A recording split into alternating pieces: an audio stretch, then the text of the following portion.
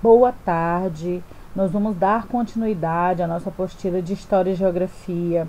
Eu gosto muito desse tema e acaba adentrando em profissões, querendo ou não, porque você está falando de zona urbana, zona rural e o que nelas nós aprendemos com as aulas anteriores.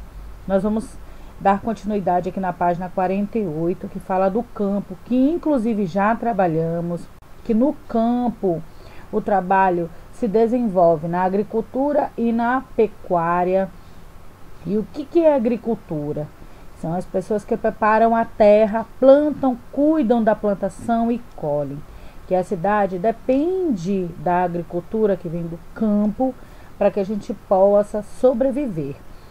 E o que é pecuária? É a criação de animais, como por exemplo os bois, os cavalos, os porcos, a criação de aves como galinhas, codornas, patos, perus e etc.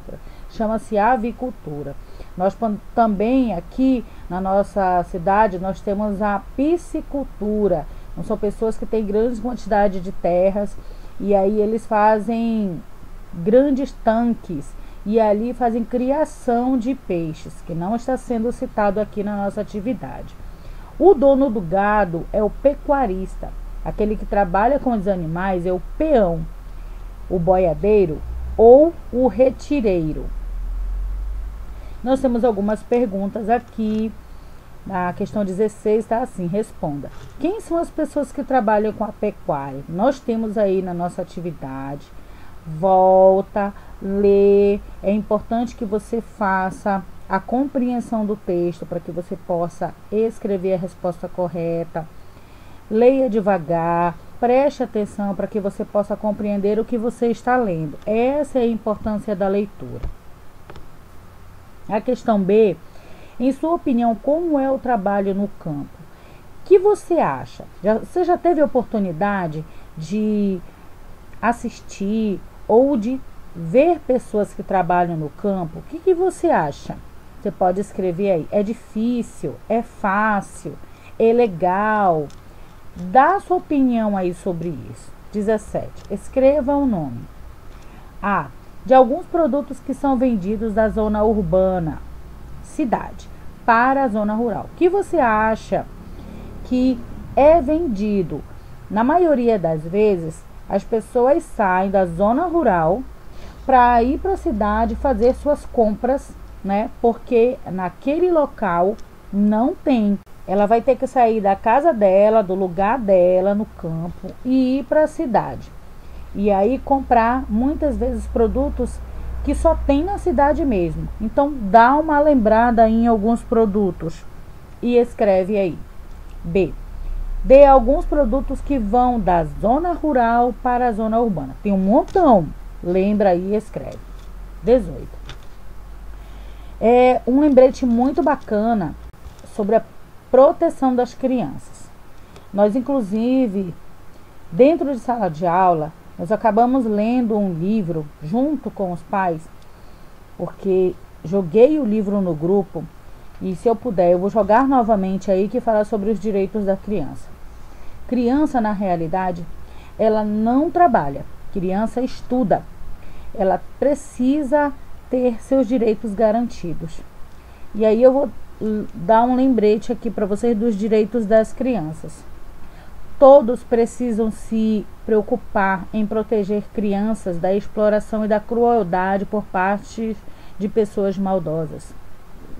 É obrigação das autoridades criar condições para as crianças só precisarem trabalhar depois de uma idade mínima.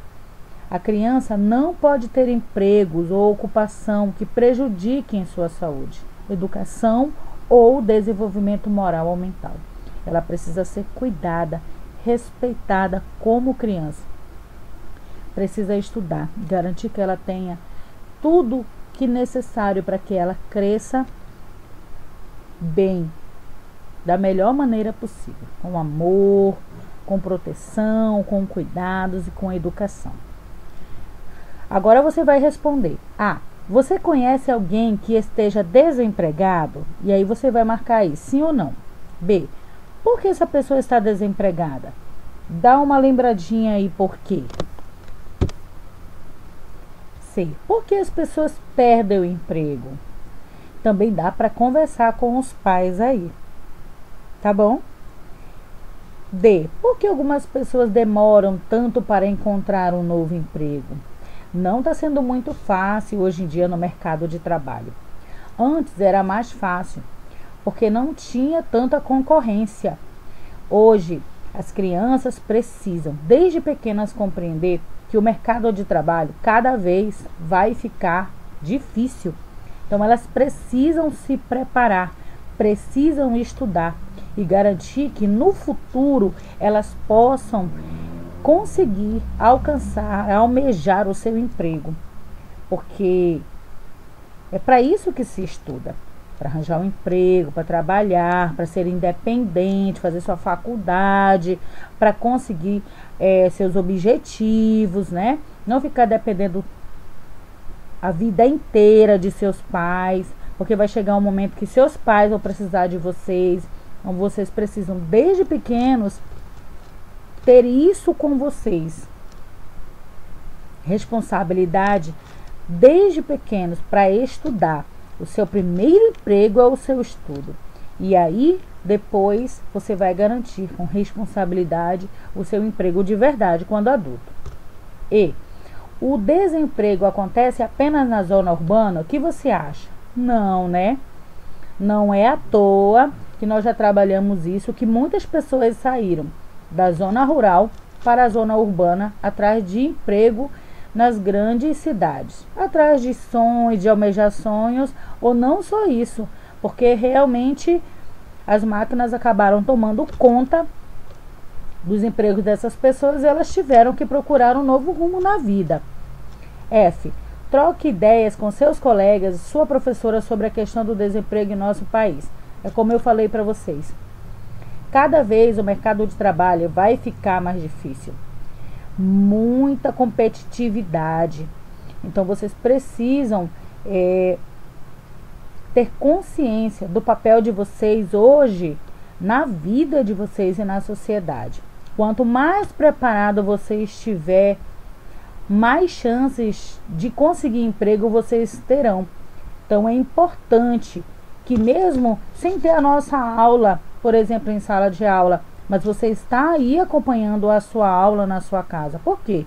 Porque você tem responsabilidade, seus pais têm responsabilidade com seus estudos, porque eles estão preparando vocês para o futuro e isso é importante.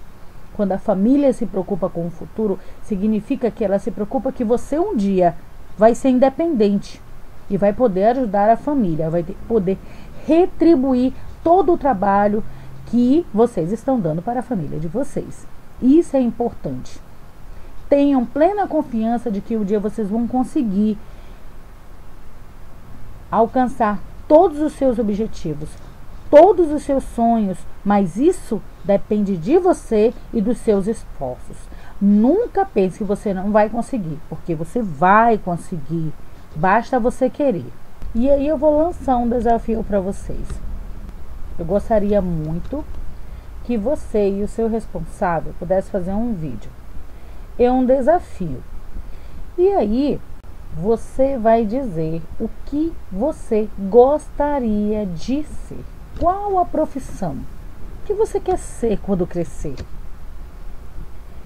E o seu responsável vai dizer o que ele faz.